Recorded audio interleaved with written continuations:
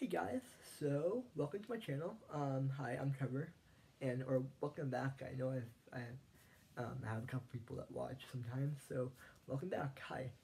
Um, so like and subscribe if you want more videos um, about INFJ struggles because this is a nice one. It's a fun one. Um, so this one involves inferior SE, like you probably can tell in the title of the video below, but this also involves a college textbook in particular college physics textbook. And, you know, it involves my brain as an INFJ, obviously, right? Okay, cool, great. But now we have the, ba the basics of the story put down. Let's get into it, right? So, I'm a college student, and I have been for uh, about four years. Yeah, something like that. Um, ish. Yeah, about that. So, I've taken a lot of science classes. I'm I've been a science major pretty much my entire degree process.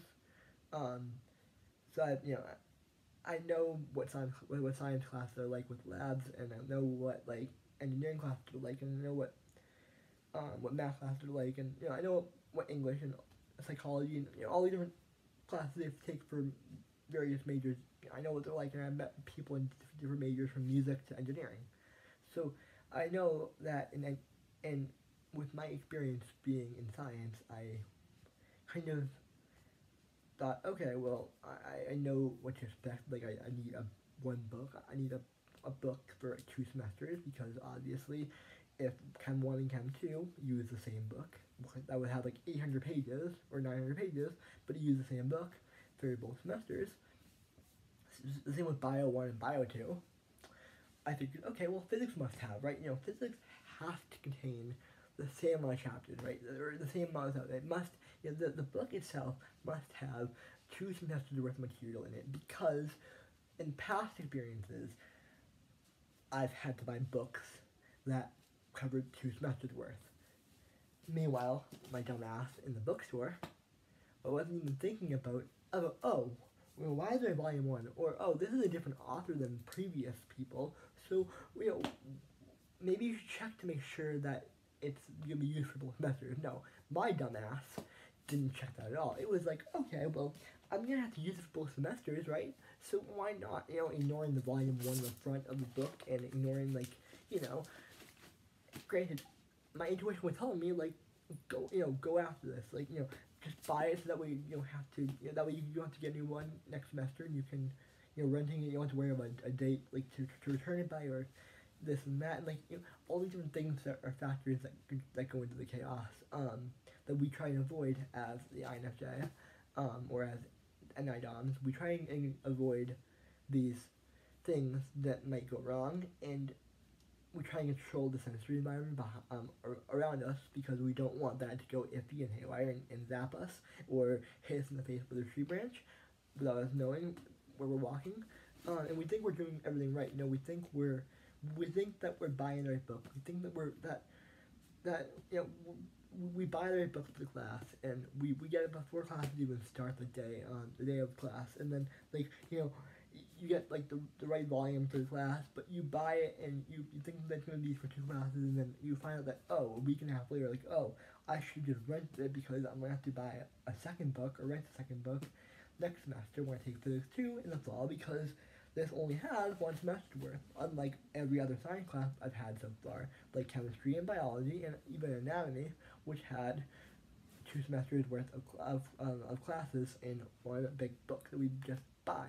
And it was a time saver, it was a money, it wasn't a money, money saver over time because, you know, if you rented the books it would be easier than buying the books, but in my, in my mind it was easier to just buy the book and have it for two semesters, that way if I needed to take a little bit longer for the, if I, if I ended up like, you know, not passing the class as well I wanted to or whatever, if I wanted to review it later on, I could review it without, without having to return it to the bookstore or to anyone else. So to me, it was like, you know, it was more so like a time saver, like, oh, well, I'm just gonna, yeah, I might as well just keep it anyway. I might as well just, you know, sell it later on if, if I have to, right?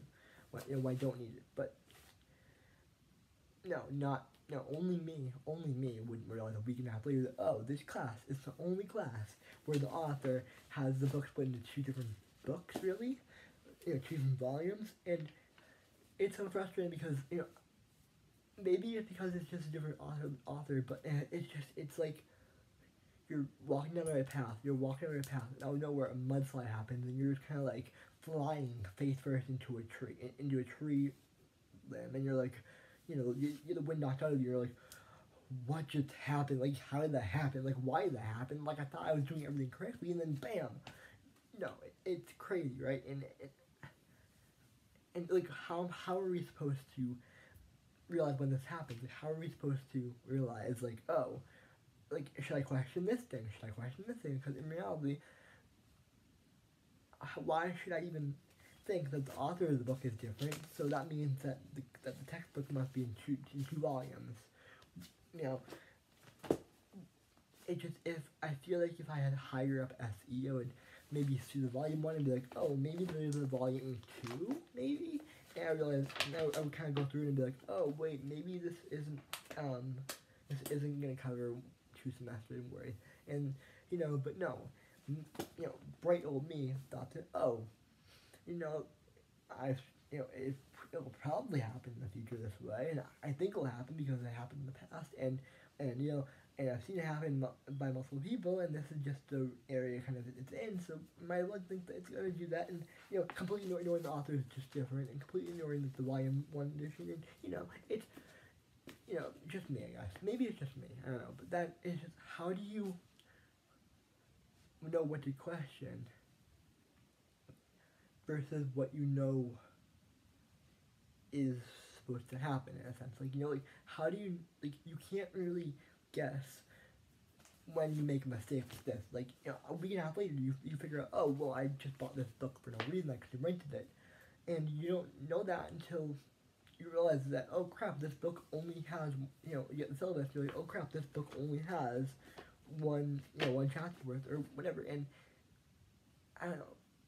Yeah, maybe I could I could have bought it after the first class. I don't know, but all these what ifs didn't happen. So how do I make those what ifs happen in the in the present moment in the future when I'm in these situations? So I don't buy a volume one of of two volumes for a class that I only need for one semester when I thought I needed for two. Like, how do we realize these things are happening and why can't we make these things not happen more?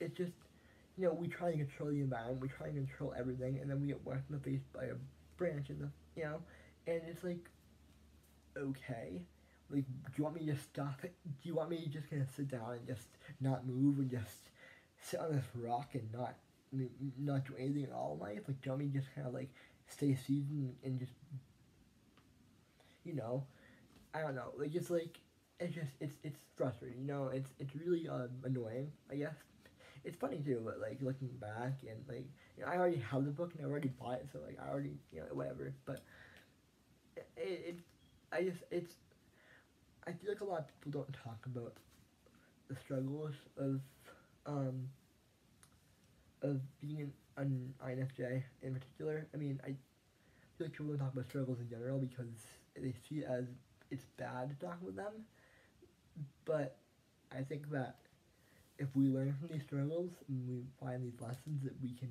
move on from, then maybe that's okay. And maybe we, we can realize, oh, well, you know, my, my, my dominant function is really strong. You know, my dominant function is really is so strong that I completely just jumped to conclusions that this one book would be used for two semesters just because it was a class that was similar to the one I had taken before.